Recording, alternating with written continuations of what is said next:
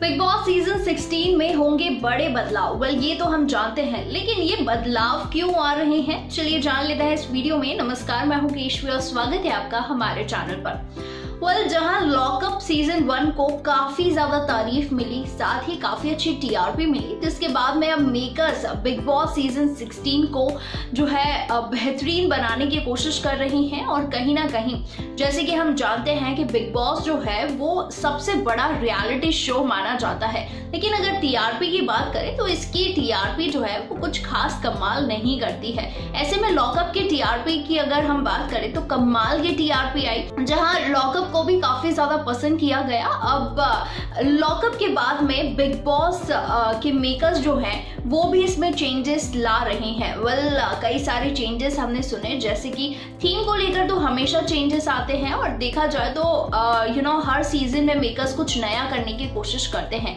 लेकिन फिर भी टीआरपी जो है वो उस लेवल की नहीं आती है जितनी एक्सपेक्ट की जाती है।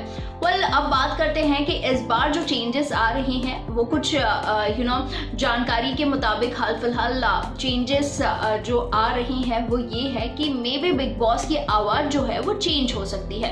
पर मैं आपको बता दूँ कि जहाँ मुख्य आवाज़ जो है वो अतुल कपूर की आवाज़ है। वहीं जो नरेशन वाली आवाज़ है वो विजय विक्रम सिंह की आवाज़ है। तो इन दोनों में से कौन सी आवाज़ बदलती है? वेल ये तो देखना होगा। लेकिन मैं आपको बता दूँ कि एक और चेंज हो रहा है और वो ये है कि रूम को लेकर यू नो एक ग्रीन रूम बनाया जाएगा, जहाँ पर यू नो लाइव इंटरेक्शन हो सकता है ऑडियंस के साथ में और बाहर की जो खबरें हैं, वो घर वालों तक पहुँच पहुँच सकती है। तो ये कहीं ना कहीं एक लॉकअप का कॉन्सेप्ट है।